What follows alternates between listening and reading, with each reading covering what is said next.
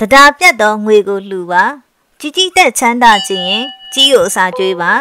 ကိုးချိန်ကိုးခါမောင်းတီးပါဆွေတော်မျိုးတော်တို့ကိုအမျှဝေပါလို့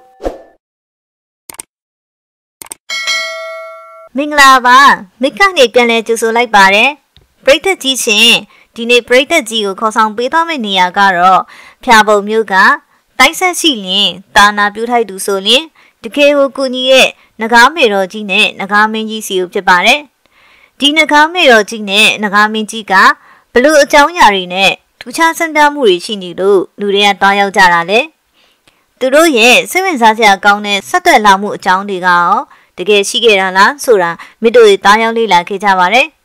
ပရိသတ်ကြီးစိတ်ဝင်စားရင်ဆိုရင်တော့ဒီဗီဒီယိုလေးကိုအဆုံးထိကြည့်ပြီးအတူတူလိုက်ခဲ့ဖို့ဖိတ်ခေါ်လိုက်ပါရရှင်။နဂါမေတော်ကြီးနဲ့နဂါမင်းကြီးမောင်နှမစီသွားနေတာပါ။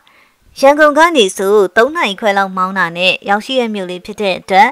သိပ်ပြီးကွာဝေးလာတဲ့မြို့လေးမဟုတ်ပါဘူး။မြစ်ကမ်းဘေးမှာတင့်တယ်စာဆံပယ်နေသောဖြာပုံမြို့ရဲ့ချက်တီဆောင်ပြည်လုံးချမ်းသာတာစီဖျားကြီးရဲ့ဖျားပရဝုတ်တွင်မှာရှိတာပါ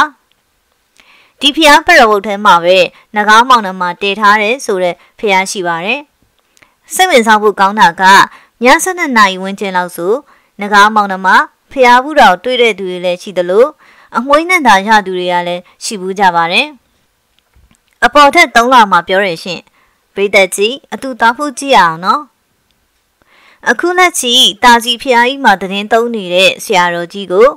တညမှာတော့နန်းဝနန်းစာအယောင်တောက်ပစွာနဲ့မောင်နှမနှစ်ဦးဖူးမြင်လာတယ်လို့အိမ်မက်မပါတယ်။ငကယုံဖျားကြီးကိုငကားမောင်နှမကအိမ်မက်ပေးလို့တေခဲ့ရတဲ့အကြောင်းဆရာတော်ဖျားကမိန်မေးပါတယ်။ ဆရာတော်ဖျားနဲ့မိတိဘဝက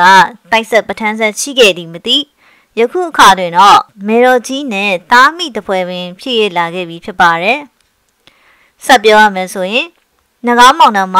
နှစ်ပါးခွင့်ပန်လာ၍ဆရာတော်ဖျားကြီးကနဂါမောင်နှမကိုဘာကူညီပေးရမလဲလို့မိန်တော်မူတဲ့အခါပရိသတ်ကြီးအခုဖူးမြင်ရတဲ့ငကယုံဖျားကြီးကိုတဲလို့၎င်းတို့ရဲ့လူဘဝမှာရောက်ရှိနေတဲ့နဂါဆွေတော်မျိုးတော်တို့နဲ့တကွာ တိုက်ဆက်နှက်ဆက်ပထန်းဆက်တို့နဲ့ခုနှစ်သားသမီးအတွက်သာနာပြုလို့ကြောင်းအိမ်မက်နဲ့ခြောက်ထားလာပါတယ်ဆရာတော်ဖျားကြီးမှာဤဖျားတယ်ဖို့ဆိုတာကိုဗစ်ကာလဖြစ်၍ကျောင်းတော်ကိုပိတ်ထားရသည်ဟာတကြောင်ဆရာတော်မှာကိုပိုင်ပတ်စံလည်းမရှိသလို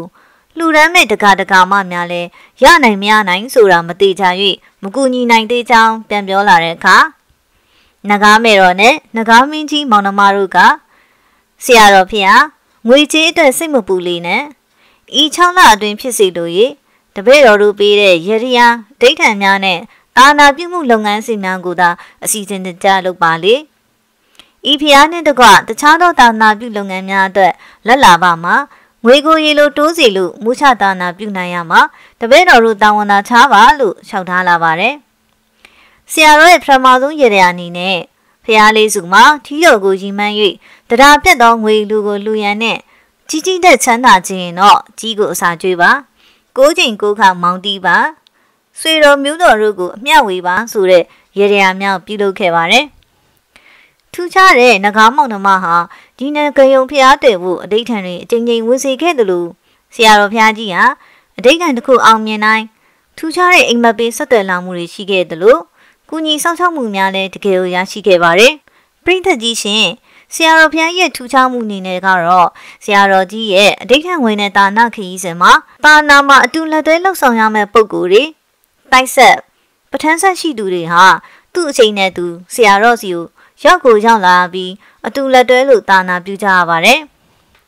ယခုဖူးမြင်ရတဲ့ငကယုံဖျားကိုတည်ထားကုကြရာကြောင့်နဲ့အလူဒါယကဒါယကမှဖြစ်တဲ့ငကားမောင်နှမကိုလည်းအိမ်မက်နဲ့ဆက်သွယ်၍ပါရမီဖြည့်ဆည်းပေးနိုင်ခံကြောင်းသိလာရပါတယ်ရှင်။အဲဒါကြောင့်ထူးခြားတဲ့ငကားမေတော်ကြီးနဲ့ငကားမင်းကြီးတို့စီမှာတချို့သောသူတွေကအတိတ်ထံဝင်ပါရမီစခန်းဖြည့်ဆည်းကြသလိုလာရောက်မေတ္တာဖို့ဆုတောင်းသူတွေလည်းရှိကြပါတယ်။ပိတ်သက်ကြီးရှင်ဒီထူးခြားတဲ့ငကယုံဖျားကြီးရဲ့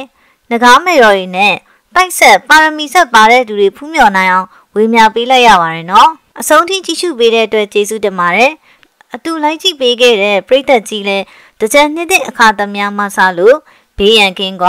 မိမိတို့ရဲ့အရွှေရန်အပေါင်းအသင်းများစွာနဲ့ရှင်ကြည်အေးချမ်းရှိကြပါစေဖြာပုံမြို့နယ်ကဆရာတော်ဘုရားကြီးနဲ့တကွနဂါမေတော်ကြီးနဂါမင်းကြီးနဲ့တကွဆွေတော်မျိုးတော်တို့သည်လည်းတိတ်ထိတကူဆယ်စသူလို့သာနာပြုနိုင်ကြပါစေဆုတောင်းပေးလိုက်ပါရရှင် အဆုံးထိကြည့်ရှုပေးတဲ့အတွက်ကျေးဇူးတင်ပါတယ်အတူတူလိုက်ကြည့်ရတာစိတ်ဝင်စားဖို့ကောင်းတယ်ဆိုဘေးနားကခေါင်းလုံးပုံနိုတီလေးကိုနှိပ်ပြီးတော့ like and subscribe လေးလုပ်ပြီးရှင်းပြပေးသွားပါအောင်ရှင်နောက်တစ်နေရာမှာထပ်တွေ့ကြအောင်မယ်နော်မိတ်ဆွေတို့ရဲ့တွေ့ကြုံလေးတွေကိုလည်းကွန်မန့်မှာပြောပြပေးသွားပါအောင်နော်ကျေးဇူးအများကြီးတင်ပါတယ်